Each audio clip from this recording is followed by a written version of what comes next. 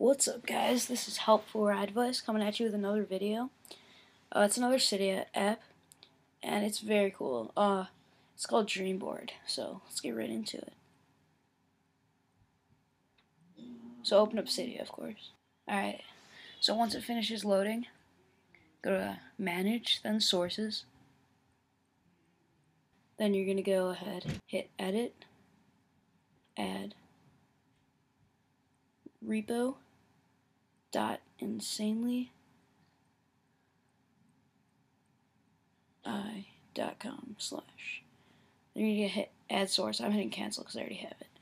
So anyway then you go over here to search. Dream board. Okay so click the one from insanely i repo. This one right here It's by WyndWarrior.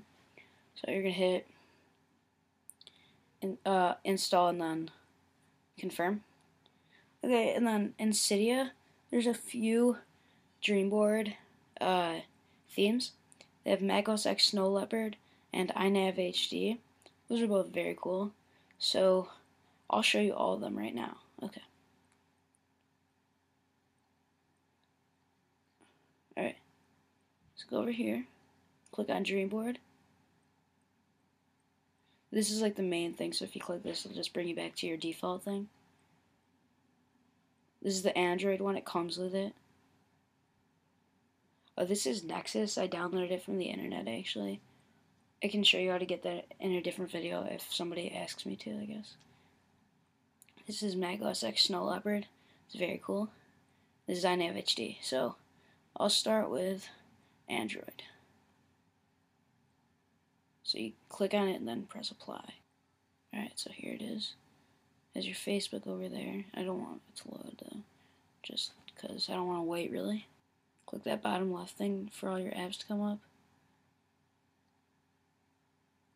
So I'm going to click Dreamboard just because I'm going to show you more. Next, I'll show you Nexus. It's pretty cool. Here's Nexus.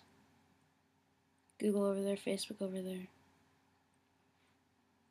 Here for the apps. It's cool. I like it. Alright, now I'll show you iNav HD because I'm saving my personal favorite for last. Okay, this is iNav HD. It's pretty cool. I like it. You got your apps here. And finally, here's my favorite one right here. Mac OS X Snow Leopard. And here it is. You got Cydia right there. You got Macintosh HD is actually applications. So yeah, that's pretty much it. I highly recommend this application. It's very cool. I really like it. So yeah, thanks for watching and please rate, comment, and subscribe.